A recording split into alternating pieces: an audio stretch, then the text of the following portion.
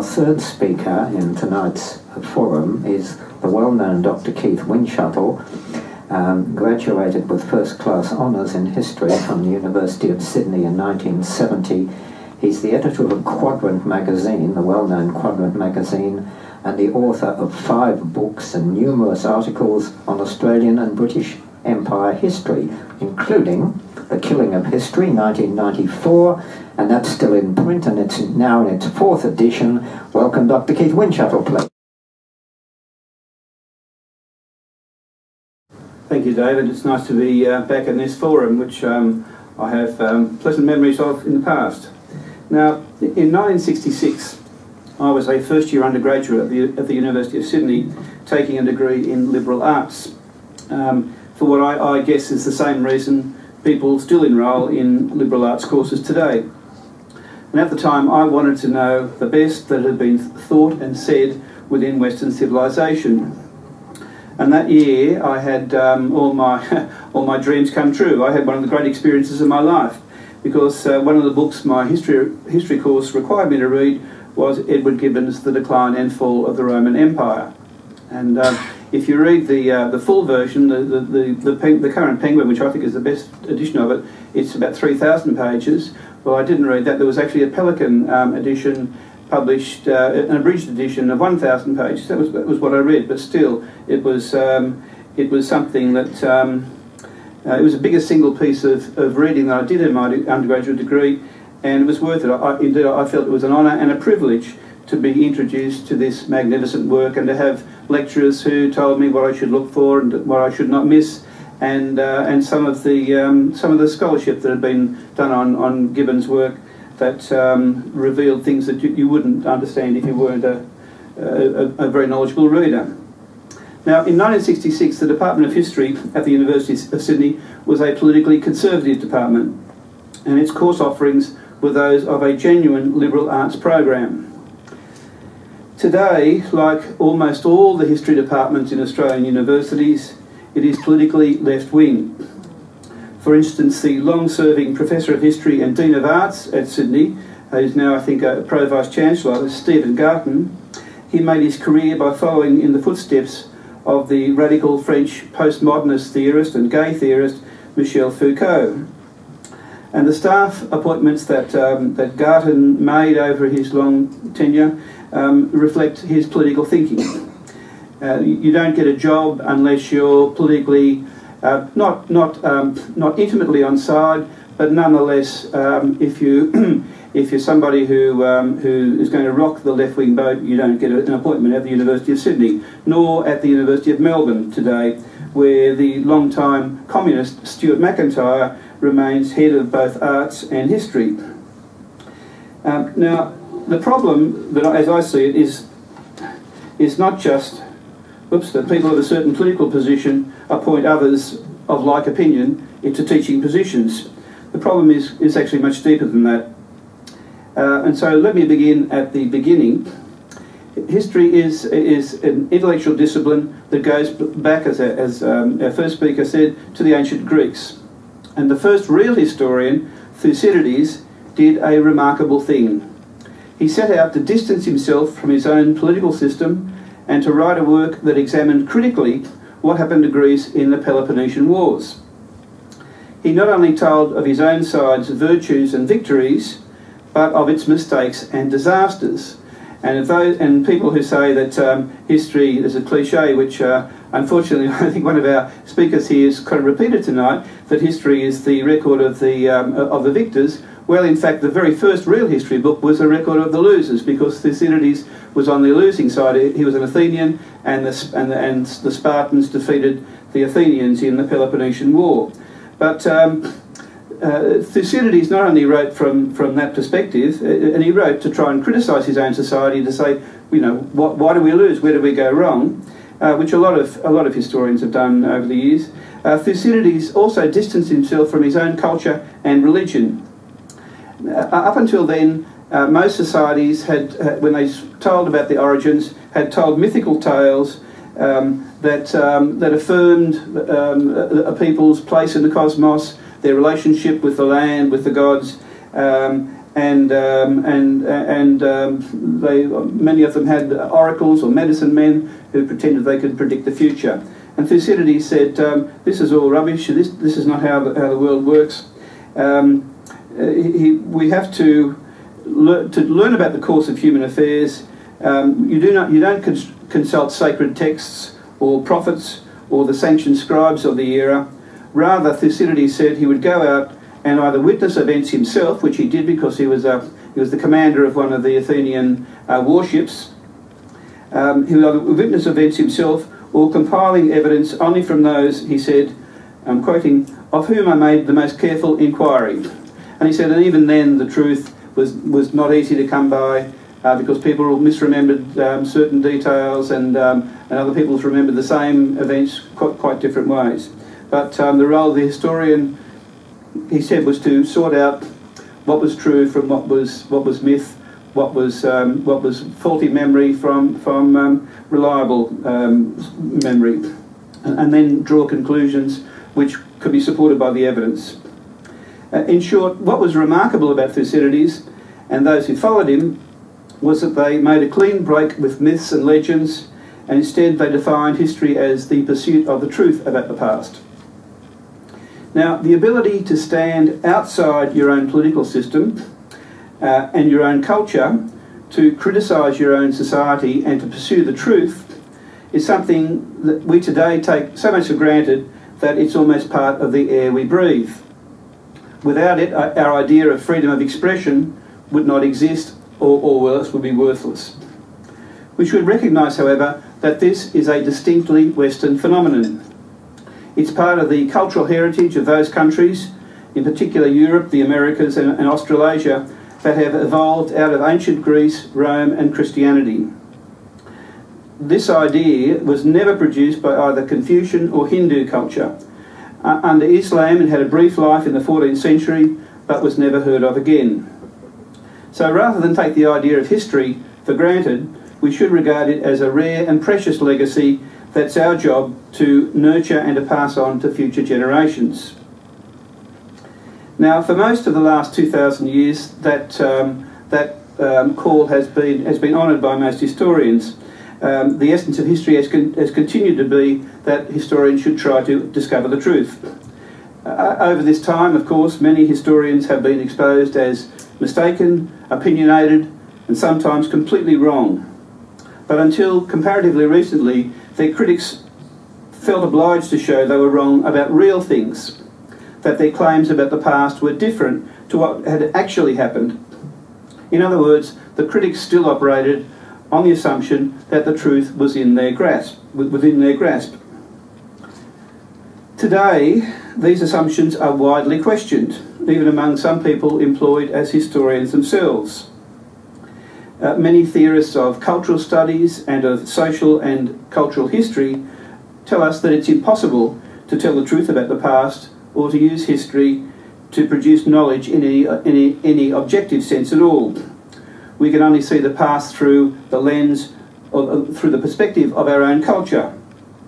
And let me summarise the prevailing assumptions, of which I think I've got five. Yes, the first one is that um, is, is an assumption that truth is not an absolute con concept but a relative one, especially about human affairs. Different cultures and even different political positions each have their own truths. What's the truth about um, about the um, budget that was delivered last week? Um, you might ask. Uh, um, that's a sort of example that people I, am, I want to criticise would, would put up. Secondly, they argue that history cannot give us any knowledge in an absolute sense different ages reinterpret the past for their own purposes. Third, we do not have any access, sorry, we do not have access to any such thing as a real world. What we think of as reality is a construct of our own minds, our language, and our culture. Fourth, the meaning of any text, and that's um, a, a, history book that's written recently or the, a document um, deep in the past that you have to find by going through the sort of research that Susan has done, the, the meaning of any text is in the eye of the interpreter. People of different ethnic, sexual, and cultural backgrounds will read historical evidence in their own way. And that way will be different to people from other perspectives. And fifth, um, history is thus not fundamentally different to myth or to fiction, and there are people who actually publish books on this subject. In fact, the University of Melbourne, um, um, oh God, what's his, what's his name? Um, McPhee, Peter McPhee, um, who was a professor of history there, I think he's now gone on to become a pro vice chancellor. He said um, history is, is you, you, to be to write history you you write history like it's like a novel, and and, and the work of a historian is very little different um, on the French Revolution, which is his specialty, uh, whether it's written by a, a, a, a, fiction writer or by a historian. Uh, when when historians look at past cultures, they this perspective says they cannot be objective nor can they, can they escape from the cocoon of their own politics or culture. And what historians see in the past, therefore, are their own values and interests reflected back at them. Now, I want to argue that, um, that uh, these five ideas are, uh, they constitute a, a, big mistake and a totally wrong direction. And the first problem is a, is a philosophical one, uh, in, in, my books, I usually give a well, I've got an, a very old example of one historian who's now retired. Um, used to, she used to be UTS at uh, ANU, it's Ann Curthoys, who said, um, "Today we can have." Um, um we, we, we have no um, idea, we have no belief that truth is, um, is I'm, I'm, I'm worried about misquoting her. Uh, but it, there are no absolute truths, is basically what, what she's, she's argued. The trouble is, if, if Ann had done Philosophy 1 at Sydney University, she would have found that that's, that's a ridiculous thing to say because uh, it's, it's um, an inherent contradiction. Um, if there are no absolute truths, then the statement, quote, there are no absolute truths, cannot itself be true. It's simply logically impossible to argue that there are no absolute truths.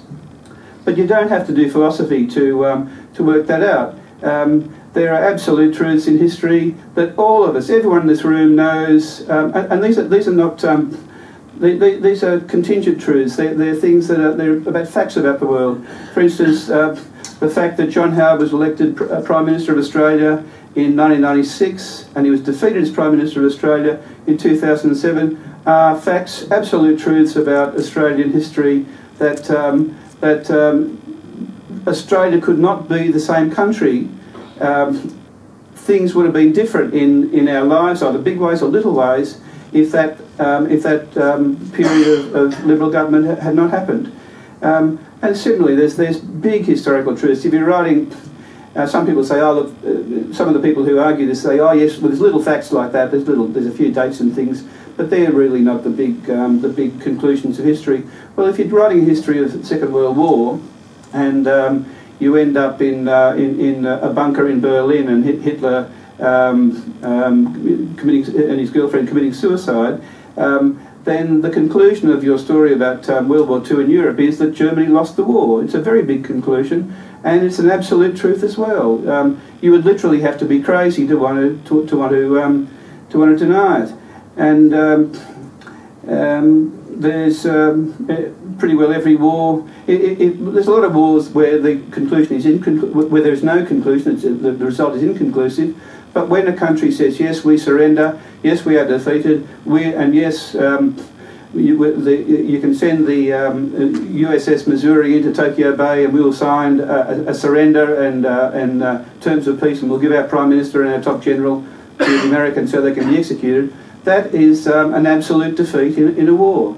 Um, and, um, and, and, it's such an obvious point, but um, most people uh, pick up things like, oh, the causes of World War, World War One. When I was at high school, I wrote, um, I wrote at least one essay, I can't remember, but I know I wrote at least one essay and one exam question on the causes of World War One. It was one of, those, one of the big topics we did, in which I was I always got good marks at.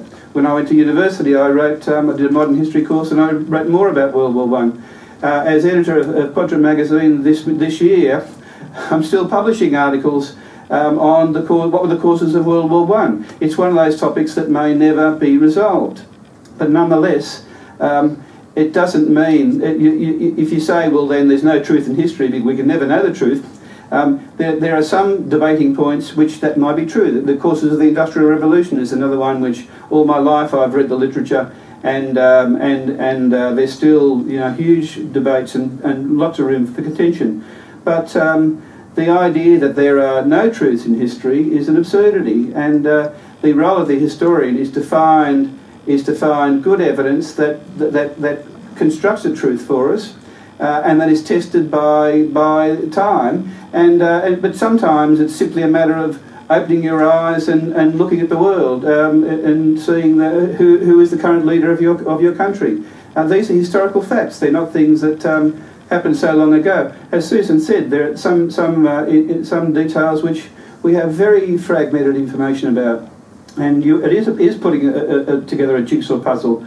Um, one of the thing, one of the chapters in Edward Gibbon's Decline and Fall of the Roman Empire, which some people argue is his most brilliant chapter. It's the reign of one emperor who I can't for the moment remember. But all that's left of that emperor's reign, and that's in in um, in the period AD. It's after, it's after um, well, he's an emperor, so it's after the Republic, obviously, is gone. But, but um, sometime around about, about 200, all we have left are a few coins. Now, Roman coins are very evocative because they have they have um, uh, they celebrate victories, and often they give the date for the victory, and they tell you who won, usually, um, um, and um, and sometimes they will uh, put in place, they put they will etch out on the coin um, buildings that were constructed as um, as triumphal memoirs, and and Gibbon has written a, a long chapter about this emperor uh, on the strength of a of a few.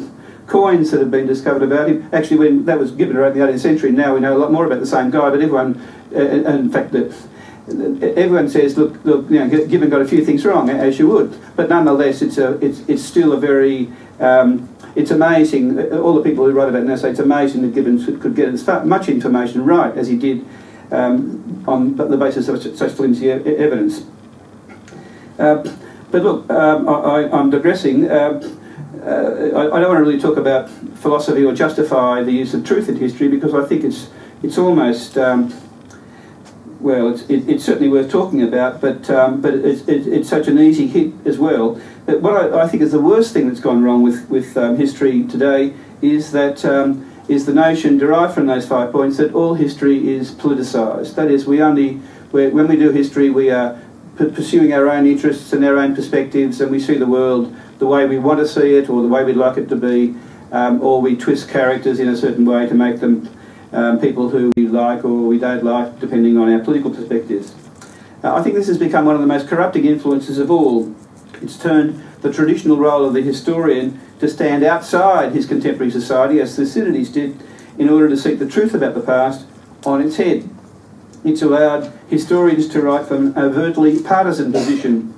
It's led them to make things up and to justify this to themselves on the grounds that it's all for a good cause. And um, Australia's best known author of Aboriginal history, Henry Reynolds, has written in justification of his own, um, his own pursuit of that objective, uh, and I'll quote him. He says, History should not only be relevant but politically utilitarian. It should aim to right old injustices, to discriminate in favour of the oppressed, to actively rally to the cause of liberation. Uh, in, in, a, in a debate I got into with Henry uh, um, over the publication of my series, The Fabrication of Aboriginal History, um, I was accused of lacking compassion, that uh, the historian needs to be compassionate. And I said, no, no, no, the historian should be dispassionate. Um, the, once you start becoming compassionate, you start, you wear your heart on your sleeve and you start seeing things through certain rosy, rose-coloured glasses that, um, that distort what's really going on. And um, again, if you want to be objective and truthful, then you have to discard voting for one side, um, preferring certain people, and starting out with aims to, um, as Henry says, to discriminate in favour of the oppressed and to actively rally to the cause of liberation. I mean, who defines what liberation is um, um in, in, these cases? This was a notion that originated in the 1960s, in, in the era when I was an undergraduate, and um, for a long part of my life, I certainly supported all these uh, ideas. It was originally developed in order to open up scholarship so that all those voices allegedly excluded from traditional history could be heard. its supporters told us that their version of history would open up the field to women, blacks, and ethnic minorities who, I'm quoting, have suffered discrimination, exploitation, and hostility, but have overcome passivity and resignation to change their exploiters, to fight for legal rights, and to resist and cross racial boundaries. Unquote. And today, this view is enshrined in the Australian National Curriculum, where students are told one of the central objectives of historical investigation is to identify those groups of people in the past who have suffered oppression from those in authority. Children are, are taught that Western civilization has been the source of serious persecution on the grounds of race, ethnicity, and gender. Um, however, the, the curriculum, as it's written, is politically selective.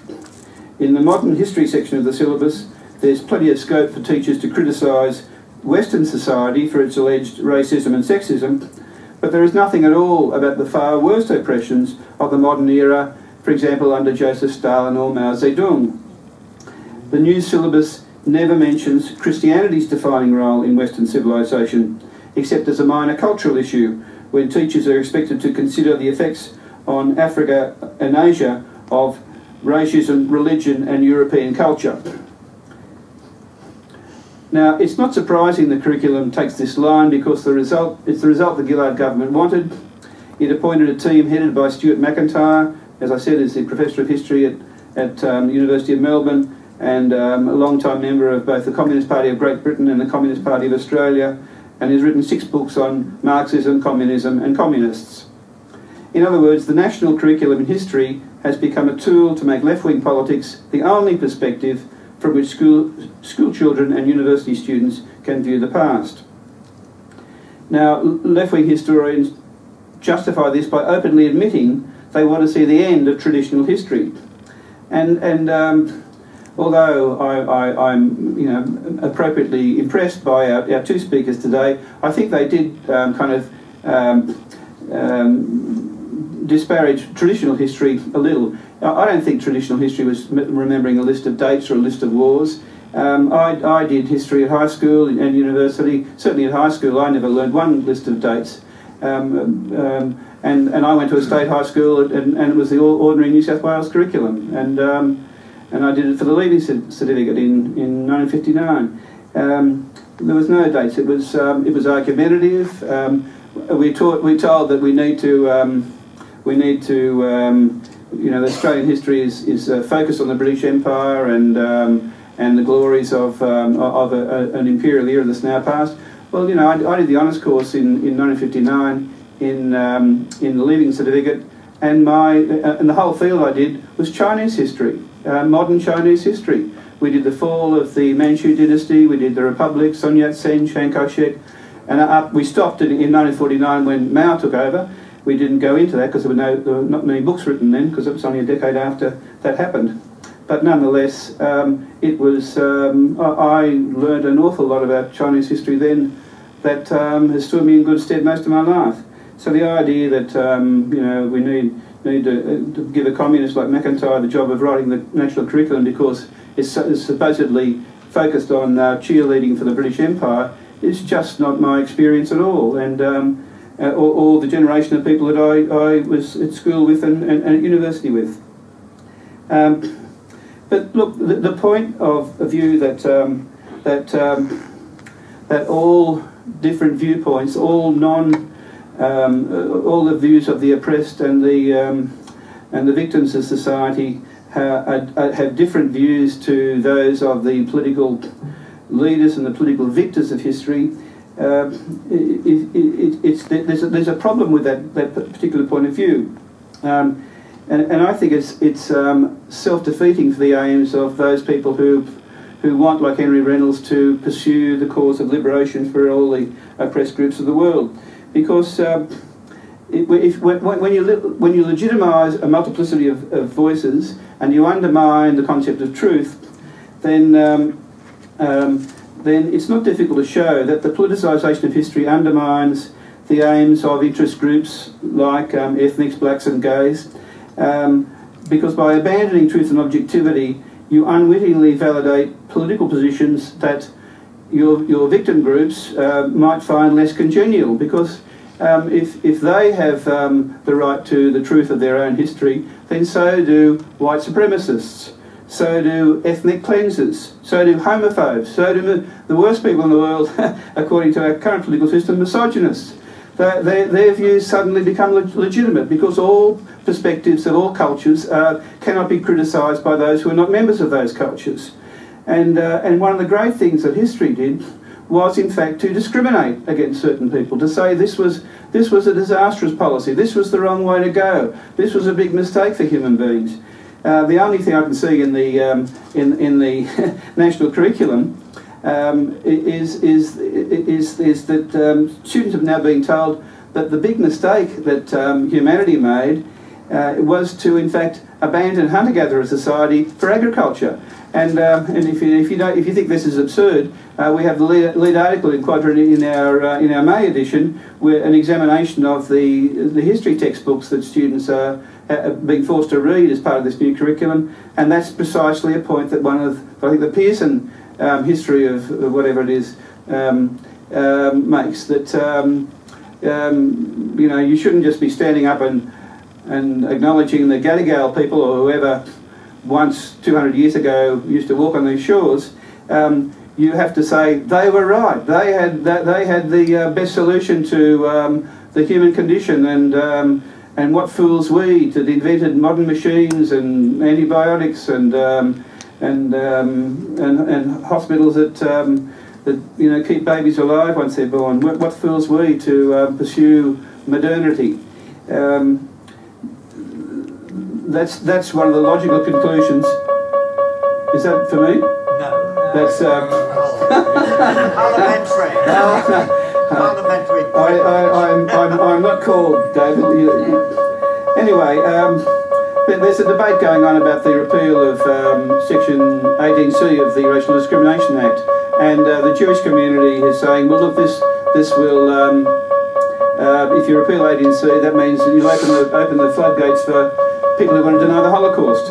Well, um, um, I mean, if you if you take the cultural relativism of the Australian history curriculum and of the dominant views in the academic teaching of history today, then you'll have to um, you'll have to accept that. Um, David Irving is the, probably the leading historian who denies the Holocaust happened and who is, has been proven to be you know, disreputable, sleazy liar by, um, by Richard Evans of Cambridge University, who wrote a book called Telling Lies About, about Hitler, which proved that, it, that Irving is just is a totally discredited person. But if you, um, if, if you accept that all interest groups uh, or cultural groups have their, have their own truths, then David Irving's work um, has to be recognised as a legitimate expression of a neo-Nazi, white supremacist, blah blah, whatever else, you want to call him. Um, the only way to um, to to discover the truth about um, about oppression and um, and um, racism and um, misogyny and other things that um, we certainly know have occurred in our past is to have a regime based upon freedom of speech and unfettered research. In other words, you have to do traditional history the way that Thucydides did. You have to. You can't assume that that um, that um, every perspective is valid. You have to find out that some people are wrong about what the, about the past, and some people create myths about the past. In fact, I think it's almost a, a, a human nature for people to want to create myths about the past.